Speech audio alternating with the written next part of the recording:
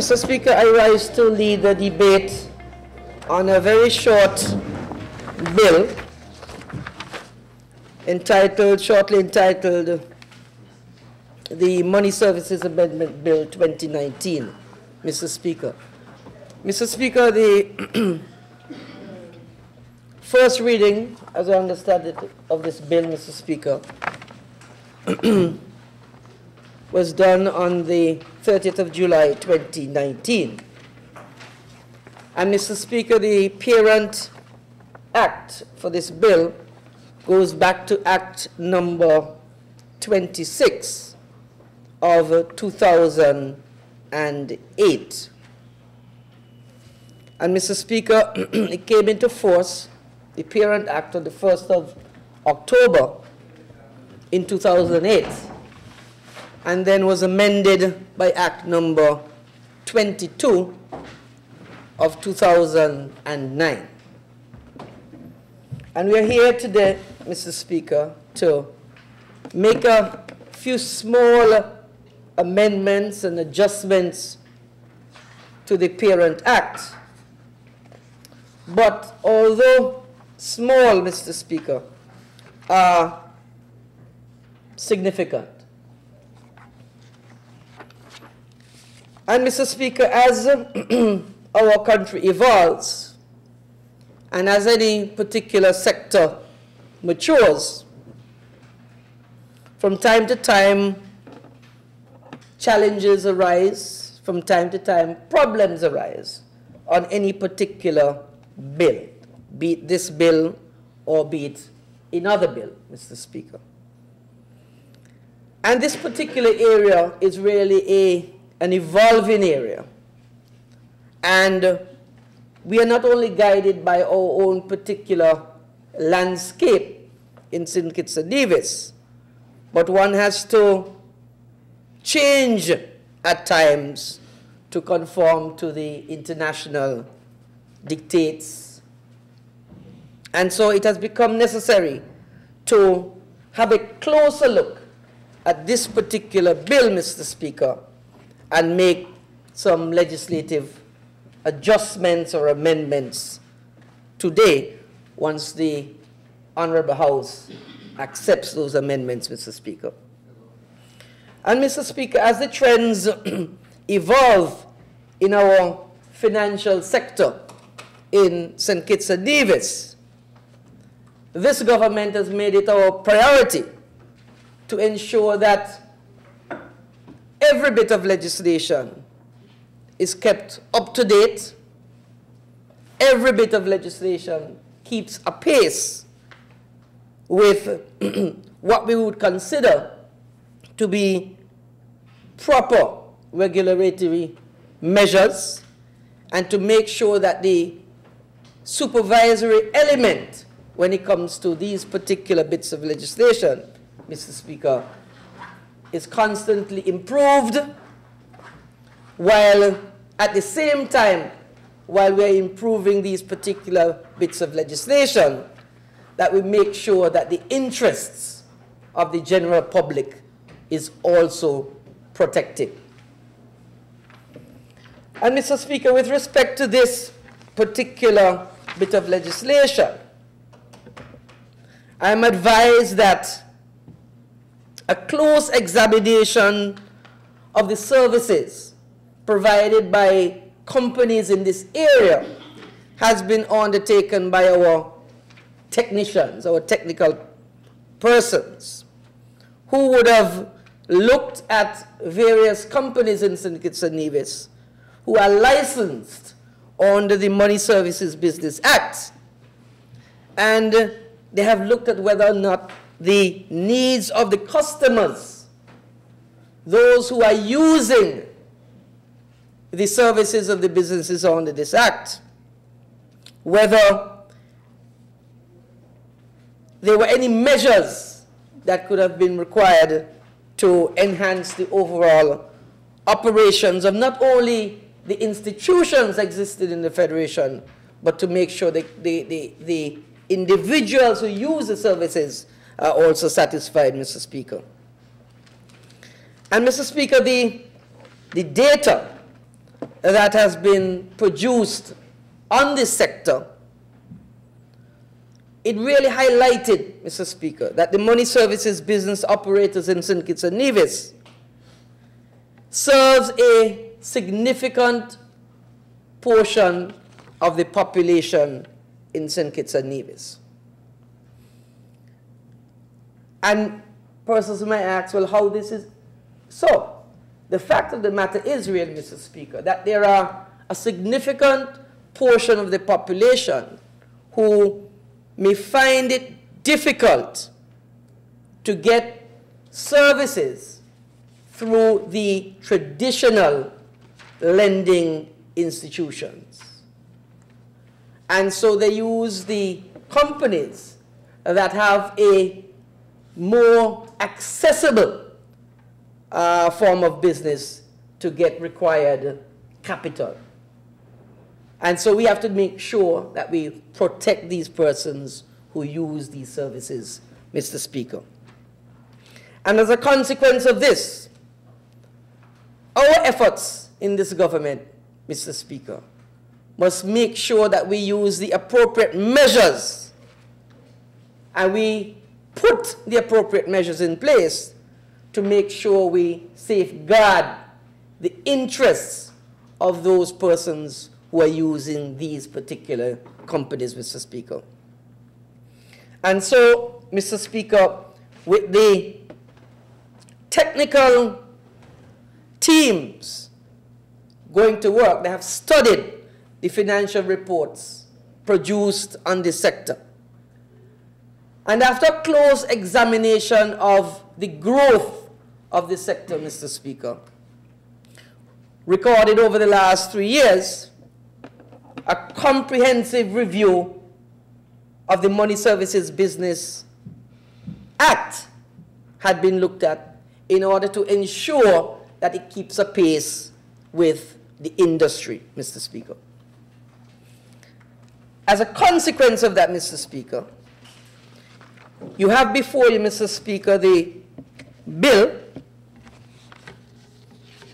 that seeks to do a few amendments, a few adjustments, Mr. Speaker, to ensure that the legislation keeps a pace with the reality, Mr. Speaker. This bill clearly only has 15 sections to it, Mr. Speaker. And I will advert my mind to about four or five of the significant amendments that is being sought, Mr. Speaker. Mr. Speaker, we are aware that some individuals find difficulty when trying to obtain funding from the more established financial institutions.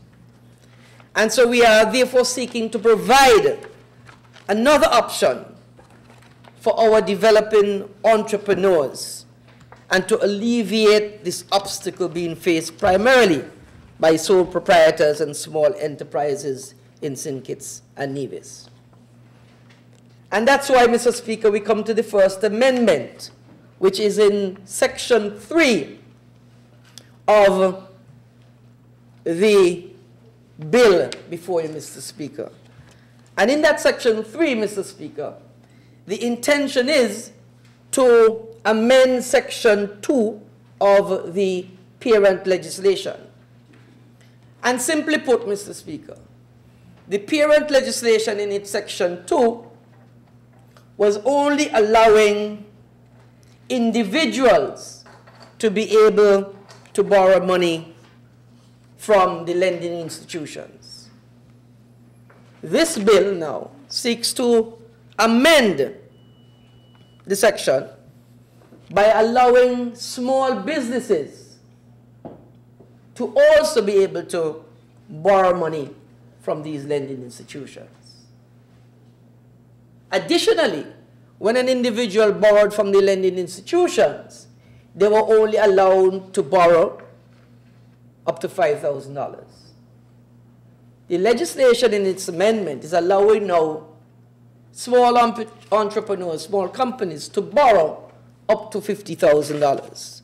So it recognized in the amending section, Mr. Speaker, if I may be allowed, it says in section 2A, inserting immediately after the definition of licensee, the following new definition as follows.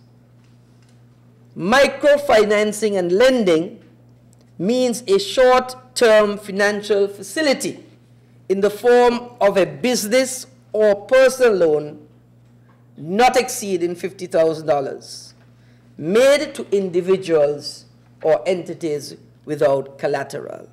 And so that section has been improved upon to ensure that not only individuals are allowed to borrow, but young entrepreneurs, small entrepreneurs are able now to go to these lending institutions and borrow up to $50,000. I would, however, Mr. Speaker, like to, to caution individuals that the opportunity is being provided to give them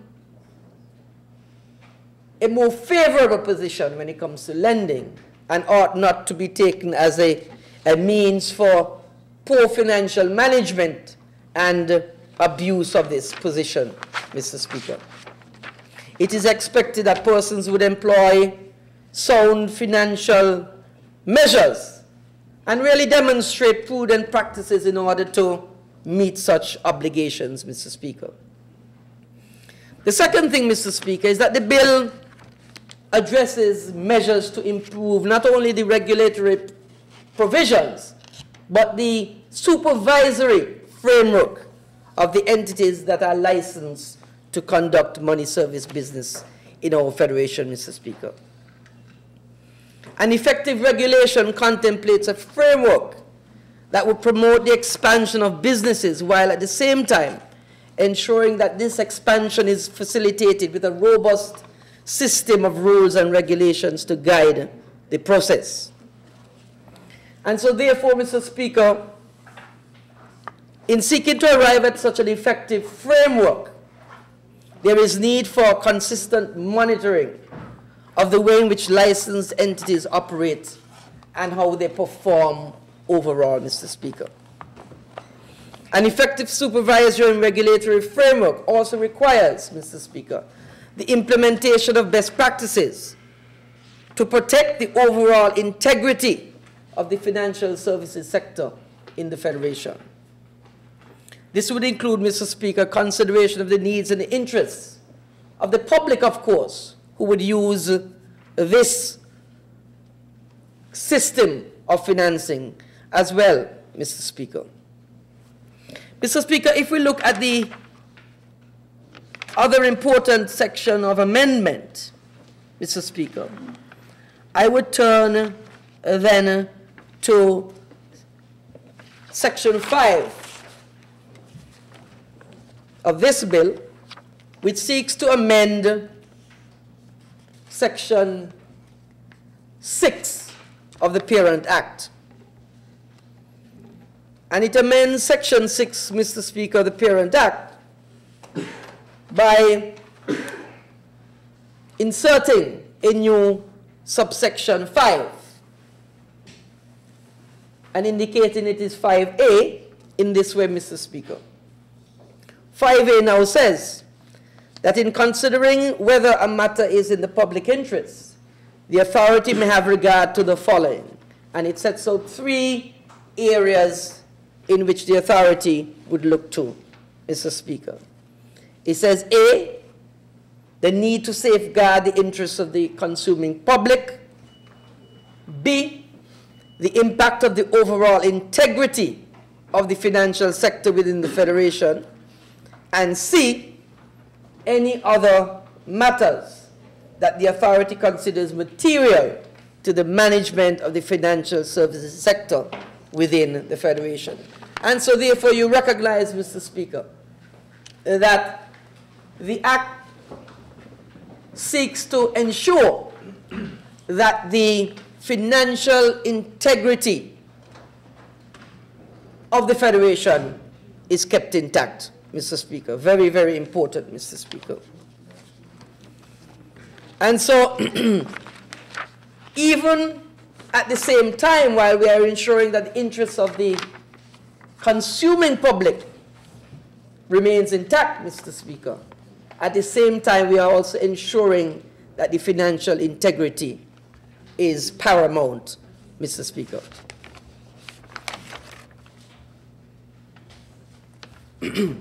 what I should have adverted our mind to, Mr. Speaker, is that in, in Section 2 that we are also seeking to amend, the Parent Act in that body of law, Mr. Speaker, only dealt with what they considered to be, and I quote here, pay, payday advances. And so that position has changed in terms of its, in the interpretation sec section, Mr. Speaker, that that has now been, my words, upgraded to what we call microfinancing and lending, Mr. Speaker. Secondly, Mr. Speaker, the bill seeks to introduce in the Schedule 5, which has now been added, if we go to Section 15 of the Act, a new Schedule 5 has been added, Mr. Speaker. And Schedule 5 of the particular bit of legislation now outlines the class of licensee or the class of license. So you have a class A, you have a class B, a class C, D, and E, and gives that the, the capital requirement for anybody seeking to license under that particular class. But what is important, Mr. Speaker, in this regard, is uh, column 3, which indicates the statutory deposit payable when it deals with the item on the class A, and it shows that 30% of the capital amount that is to be put up, which is the $50,000 or 30% of $50,000, must be on deposit if you are performing a business that is a Class A license, Mr. Speaker. That's very important because it means that the, it gives the regulators an opportunity to regulate these businesses more, Mr. Speaker. The bill also seeks to provide, Mr. Speaker, a basis where the licensed entities would be encouraged to comply with the regulatory framework. And, uh, of course, Mr. Speaker, how are they encouraged? This act sets up certain penalties, Mr. Speaker, to ensure uh, that the businesses comply. And so, for example, when we look at Section 10 in this bill, it amends Section 19. And the particular portion that I would wish to, to advert our minds to is 10C where a new subsection 3 has been introduced, where it says that where a licensee fails to submit a quarterly report within the time stipulated pursuant to the provisions of this section, then a fee of $100 shall be payable by the licensee for each day on which the quarterly report remains outstanding. So it sets up a penalty for the businesses operating to say, well, look, if you fail to submit your quarterly reports, we are going to penalize you in terms of $100 per day. And so this again is to ensure uh, that the businesses comply with the legislation. And it also goes on to the section, section D, which says that notwithstanding the provisions of subsection 3, that's the one I just read, a licensee who fails to file a quarterly return commits an offense and is liable on summary conviction to a fine not exceeding $50,000 or to imprisonment for a term of two years or to both such fine and imprisonment. Here again, Mr. Speaker, that the, the particular bill is trying to ensure that companies who are in the business for which this bill relates are kept in tune and regulated in such a way and fined in such a way to ensure that they comply with the different areas of regulations, Mr. Speaker. You would recognize also, Mr. Speaker, that when we go to Section 9 of the bill, it amends Section 18, of course, again, ensuring that the international standards to which we are expected to keep, uh, that we are regulated in that way. Because the amendment of Section 18, Mr. Speaker, reads that the Act is amended in Section 18 in subsection 3 by replacing the expression 2001 issued to pursuant to the Proceeds of Crime Act 2000 with the expression anti-money laundering regulations, anti-terrorism, prevention of terrorist financing regulations, and the financial services implementation of industry standards. Again, Mr. Speaker, ensuring that the, the various companies that operate within this industry, that they adhere to the international standards, Mr. Speaker.